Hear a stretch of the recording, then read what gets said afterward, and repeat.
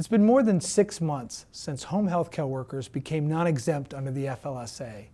That means that now, if you are a home health care worker, you should be getting paid time and a half for all hours you worked over 40 in a week.